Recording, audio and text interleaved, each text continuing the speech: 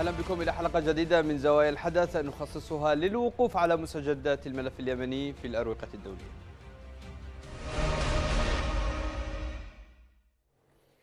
قالت مندوبة بريطانيا لدى الأمم المتحدة كارين بيرس إن مشروع القرار الذي سيقدم الاثنين القادم يدعم المطالب التي اقترحها المنسق الأممي مارك لوكوك وأضافت أن الجهود الإنسانية المبذولة لن تنجح إذا لم يرافقها جهد سياسي لحل الأزمة لافتة إلى أنه لا يمكن وصف سوء الأزمة الإنسانية في اليمن. كان مارتن جريفيث المبعوث الأممي إلى اليمن قد أعلن اقتراب موعد جمع الأطراف اليمنية على طاولة المشاورات في السويد. وقال في إفادة له أمام مجلس الأمن أنه تلقى تأكيدات من الأطراف اليمنية بحضور المحادثات المقبلة موضحا أنه يقترب من حل القضايا المتعلقة بالتحضير لها. نتوقف عند هذه التطورات لنناقشها في محورين. ما الذي يمكن أن تسفر عنه التحركات الدولية الأخيرة؟ وهل جاء إيقاف العملية العسكرية في الحديدة في سبيل إتاحة الفرصة للمسار السياسي؟ مجلس الأمن يناقش الوضع في اليمن مجددا. في خطوة تسبق تحركا بريطانيا لإصدار قرار عن المجلس يركز بشكل كبير على الجوانب الإنسانية في البلاد.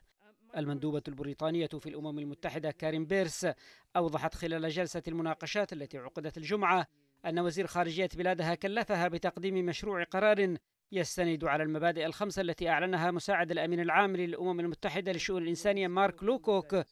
والتي تنص على تنفيذ وقف القتال في جميع البنى التحتية والمرافق وما حولها. وتنص كذلك على تسهيل وحماية الإمدادات الغذائية والسلع الأساسية ودعم الاقتصاد اليمني عن طريق ضخ العملات الأجنبية ودفع الرواتب وزيادة التمويل والدعم للمساعدات وأن تعمل الأطراف المتحاربة مع المبعوث الأممي لإنهاء النزاع. المبعوث الأممي إلى اليمن مارتن جريفيث قدم كعادته إحاطة عامة بشر فيها بإمكانية عقد جولة مشاورات جديدة في السويد الأسابيع وربما الأشهر المقبلة.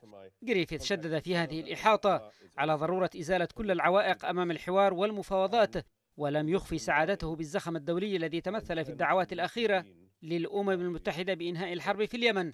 معتبرا أن زيادة الاهتمام الدولي اقترنت بالتزام من قبل الأطراف اليمنية بالمضي قدما نحو السلام.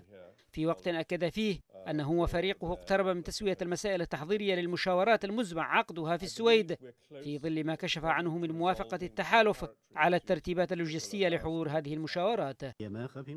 جريفيث أكد أنه حصل على دعم من الأطراف اليمنية لتحديث الإطار العام للمفاوضات الذي قال إنه يتمشى مع مطالب مجلس الأمن والأطراف اليمنية ويستند إلى المرجعية الثلاث وإلى التقدم المحرز في جولة مشاورة الكويت.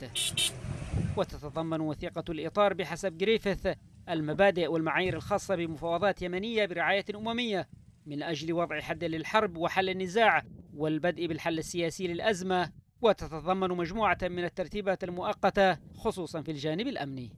جريفيث أكد أنه سيزور صنعاء الأسبوع القادم وسيلتقي زعيم الميليشيا الحوثية وسيزور مناطق مختلفة من البلاد إذا اقتضى الأمر ذلك في وقت أكد فيه. قرب التوصل إلى صفقة تبادل للمعتقلين والتي اعتبرها بمثابة اتفاقية أولى بين أطراف الأزمة في اليمن. أبدأ النقاش مع ضيفي من ألمانيا المحلل السياسي الدكتور علي العبسي. أهلا بك دكتور علي. أهلا وسهلا. كيف تتابع الحراك الدولي في الملف اليمني؟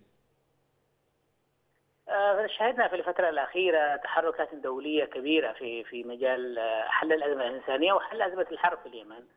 ولكن المؤشر الرئيسي والدافع الرئيسي لهذا الحاجة كان تصريحات وزير الدفاع الأمريكي و وطلبه إعطاء مهله 30 يوم لجلب الأطراف النزاع اليمني إلى طاوله المفاوضات، هذه كانت المحرك الرئيسي والدافع الرئيسي لكل الأطراف الأخرى، لكل الدول الأخرى التي أيضا أيدت هذا هذا الموضوع لمبعوث الامم المتحدة جريفيث الذي أيضا تبنى هذه القضية. وتحرك المجتمع الدولي الآن بعد التحرك الأمريكي، هناك زخم دولي الآن، هناك نوع من الالتفاته إلى الوضع في اليمن بعد أن تم تجاهل الوضع الإنساني والسياسي في اليمن لمدة ثلاث سنوات ونصف أو أكثر من ثلاث سنوات ونصف.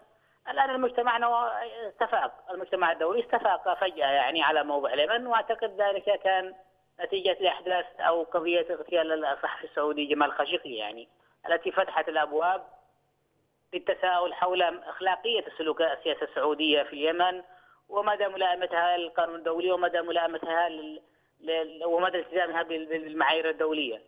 أعتقد ال ال ال ال ما نشهده الآن هو تحرك دولي محمود طبعا وبالتأكيد لكن لا لا توجد ضمانات للنتائج هناك دعوات طيبة طبعا فيما فيما يخص الإغاثة الإنسانية ومساعدة وتخفيف المعاناة في اليمن ولكن حتى هذه غير مضمونة. يعني هناك دعوات فقط قرار المجلس أن حتى لو صدر غير ملزم وسوف يعني كل دولة تتصرف بما تمليه عليها سياستها الخارجية.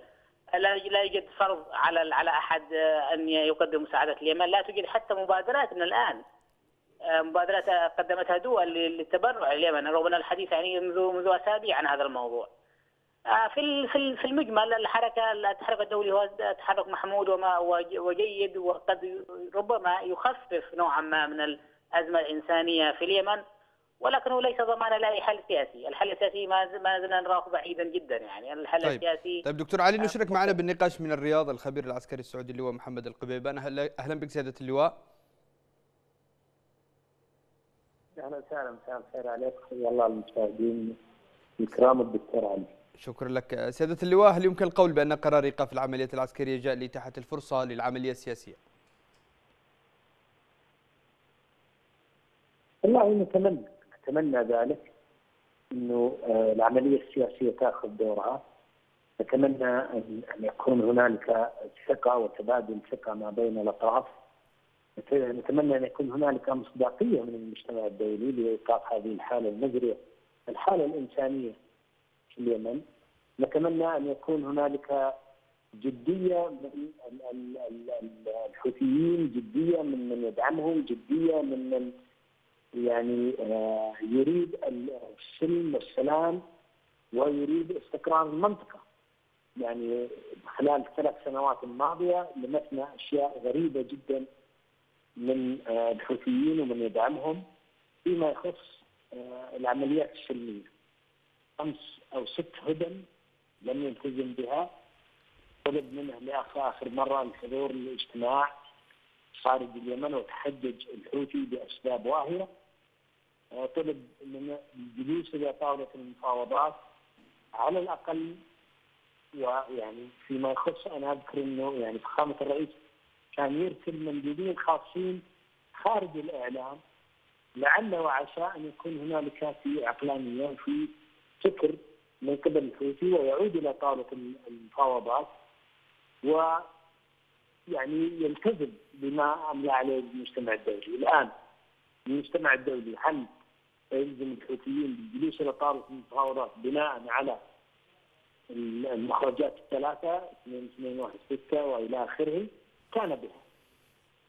إذا اراد إذا ما أراد الحوثي أن يستقر الوضع في اليمن وأن يستقر وأن تستقر الحالة الإنسانية وان يعود اليمنيين إلى و يعني رحمة بهؤلاء الأطفال الذين يموتون والحالة الإنسانية الصعبة.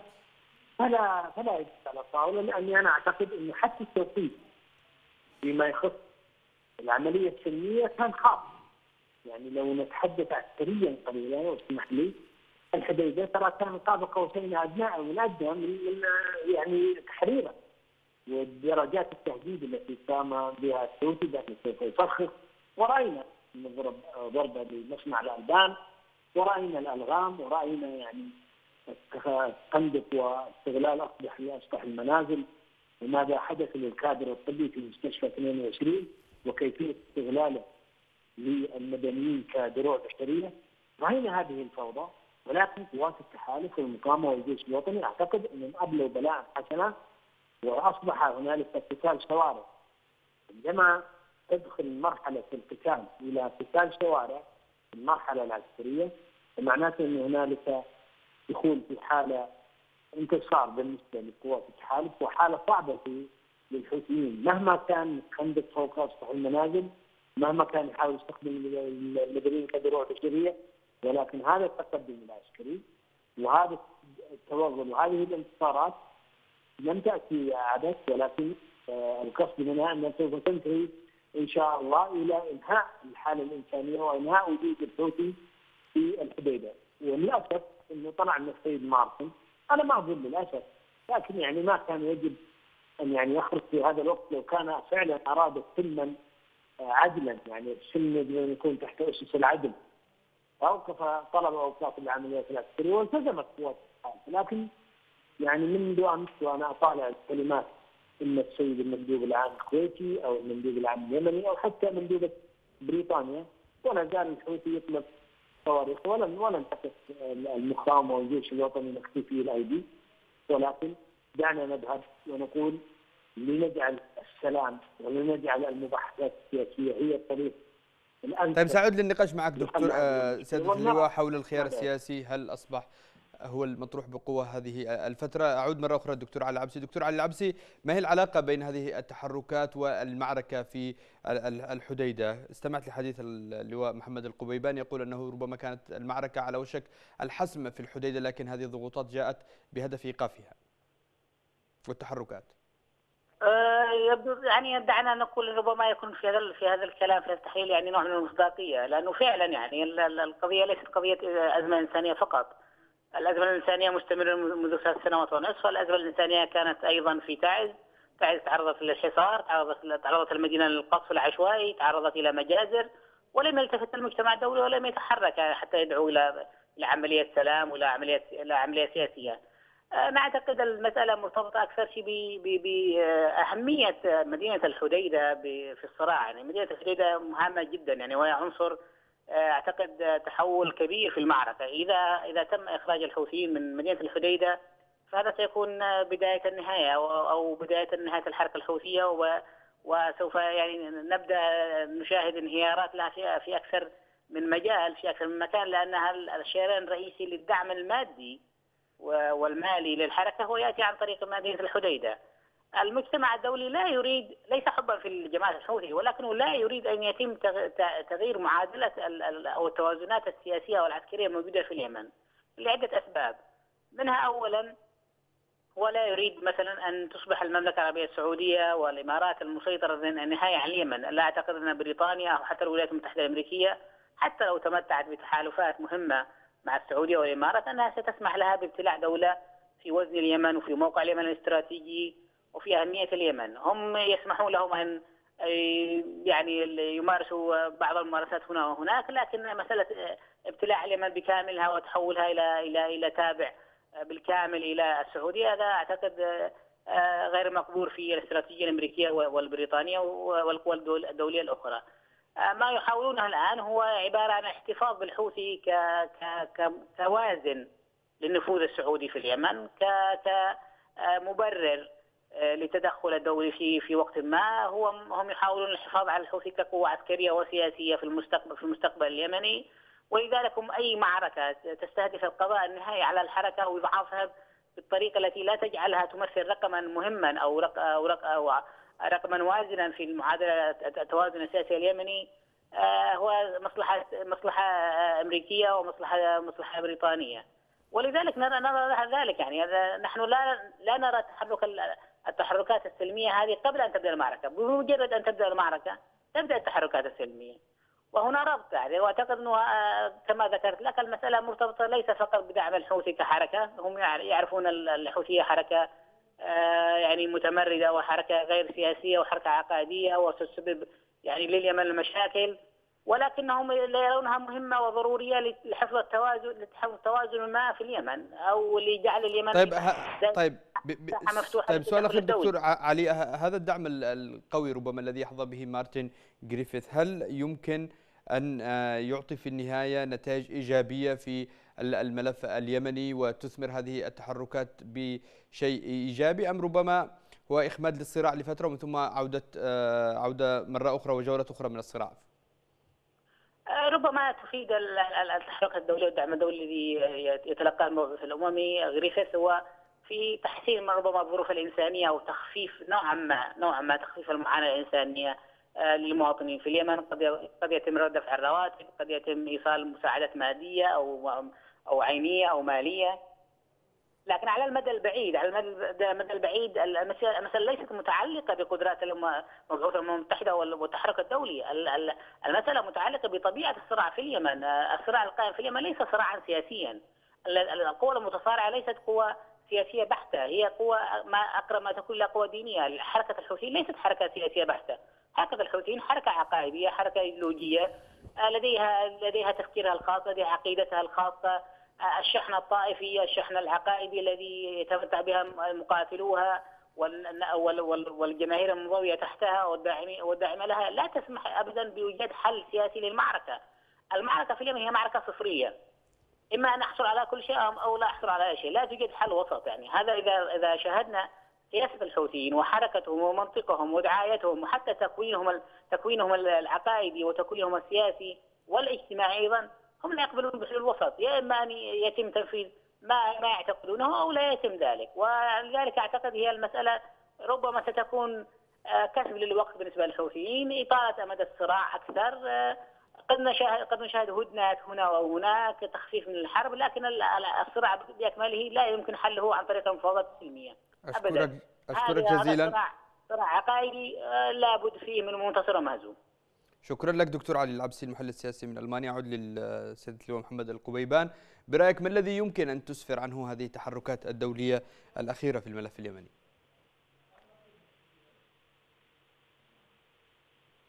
هو يعني متابعة لما ذكر الأخ الدكتور علي إنه فعلا الجماعة الحوثية هي لا تفكر بموضوع سياسي وحتى لو تشدقوا بموضوع نحن نريد السلم نحن والى آخره لا زلت أنا أشك في موضوعهم وهذه عقبة وخاصة إنه نحن نتكلم عن جماعة يعني ليس لها سلطة الكلام، ليس لها سلطة القرار، إنما هي تعتمر بأوامر خارجية ومدعومة للأسف.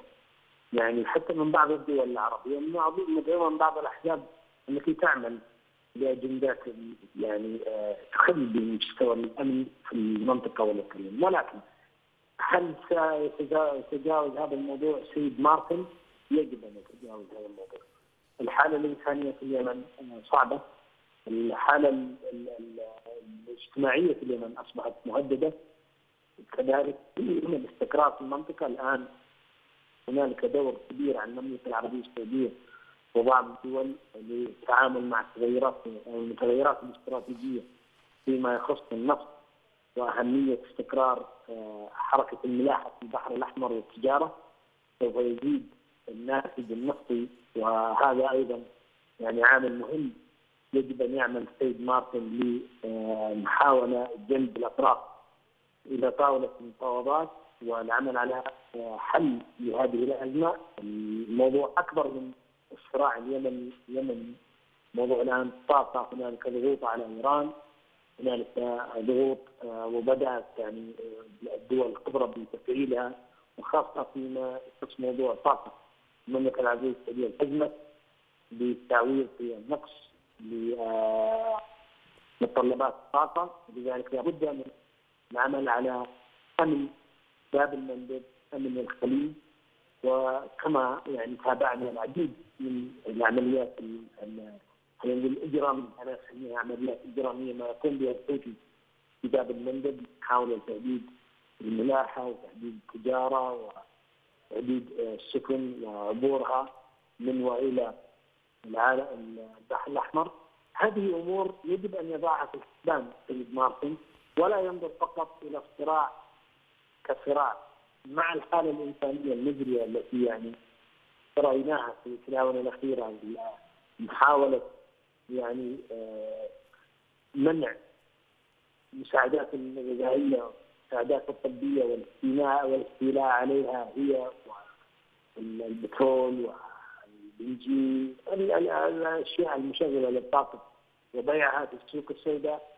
قد يكون إنه يعني أصبح هذا الأمر مكرر في الاعلام ولكن ما زال قائم يعني لما تتكلم لي أنت عن 75% من مصدرات الدولة يسيطر فيها الحوثي أو 70% عشان تكون هنالك دقه أكثر. أشكرك. دكتور. سيادة اللواء شكرا جزيلا لك. سيادة اللواء محمد القبيبان ونشرك معنا في النقاش من تعز أستاذ العلوم السياسية في جامعة الحديدة دكتور فيصل حذيفي. أهلا بك دكتور فيصل. مرحبا بك يا أبو الكريم. تفضل. دكتور فيصل برأيك ما هي النتائج التي يمكن أن تنتهي إليها هذه التحركات الدولية في الملف اليمني؟ في أحسن الأحوال يمكن أن تفضي إلى حلحله الصراع والانتقال من الحرب إلى تسوية سلمية ولكن هذا يشترط أن يكون هناك نية جادة لدى المتسبب بهذه الحرب وهم الانقلابيون في صنعاء اي بانهم يذعنوا للقرارات الدوليه والإجماع الوطني والعودة إلى طاولة الحوار لتنفيذ القرار. ولكن الملاحظ من سلوك هؤلاء القوم غير جادين في الانصياع للقرارات الامميه أو الانصياع إلى الاراده الشعبية. آه، وبالتالي آه، فإن شيئا ما لن يحدث لن يحدث اختراقا يمكن الاعتماد عليه أو التنبؤ به. وإنما ستظل الأمور بنفس المسار العائم والميوعة السياسية التي لن تفضي إلى شيء أكثر مما هو حاصل من مسارات آه، مليئة بالفشل ابتداء من جنيف واحد واثنين وكذلك آه، محادثة الكويت وكذلك المحادثات غير المعلنة في عمان سلطنة عمان وكذلك افشال المؤتمر الأخير ودورة السويد أو لقاء السويد. لن يفضي إلى حل آه، يمكن أن يحل المشكلة اليمنية إلى بر الامان. لكن جريفيث يتحدى عن تفاؤل بأن الأطراف اليمنية ستذهب إلى السويد، هل تعتقد أنها ستصدق هذه المرة وعود الأطراف اليمنية وستذهب إلى هناك؟ لا هو الذهاب إلى إلى طاولة الحوار لا يعني النجاح. فقد استمرت المحادثات في الكويت آه، أكثر من شهور تقريبا طالت ثلاثة أشهر، ما الذي رشح عن محادثة الكويت؟ غير أن الوفد المفاوض آه، شعر بأن هناك عطاءات يومية سخيه من الكويت وبالتالي آه، استمر الطرفان الانحراف من تحقيق مشروع وطني للسلام إلى تحقيق إلى الجيوب. يعني كلا الطرفين المفاوضين آه، لم يكونا يفكران بالوطن أصلا وانما كانا يفكران بإمداد الحوار الوطني ربما حتى سنة كامل.